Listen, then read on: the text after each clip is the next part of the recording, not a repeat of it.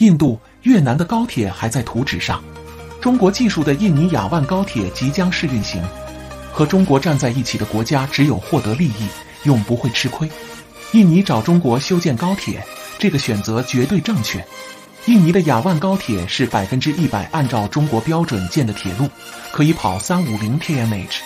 印度高铁、越南高铁、印尼雅万高铁差不多同期招标，雅加达高铁都快通车了，印度越南的高铁还在草图上。中国高铁技术世界第一，这个话现在已经没有人敢喷了，因为实力碾压。越南哭晕在厕所。越南当年找日本修的高铁是多么错误的选择！铁路修到哪儿就会把经济连通起来，有了经济就会有钱赚，就不会有战乱。在建的雅万高铁，现在就能安排当地人就业，就有一万三千多人，工资是当地的几倍。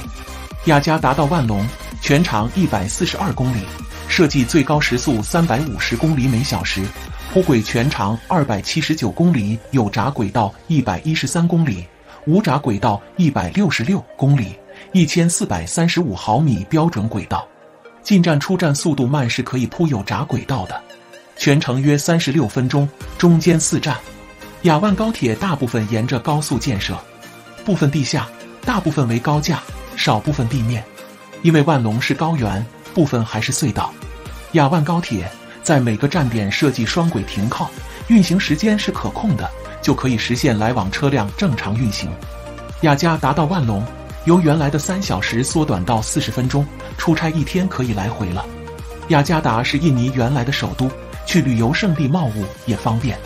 加拉旺是西爪哇最大的工业区，都是大厂。帕达拉朗也是一个工业新区。万隆是旅游胜地，也有政治意义。所以，印尼第一条高铁雅万高铁是有深意的。未来应该两条线。从加拉旺分开南线继续往东走梭罗，北线走三宝垄一直到苏拉巴亚，北线才是印尼最重要的一条城市线。这几个没建的，或者最后找其他国家建的，比如墨西哥、马来西亚、越南和印度，现在哭都来不及了，因为当年没选择中国，现在造价高了很多。看到印尼快开通了，这些国家国内民众都骂声一片。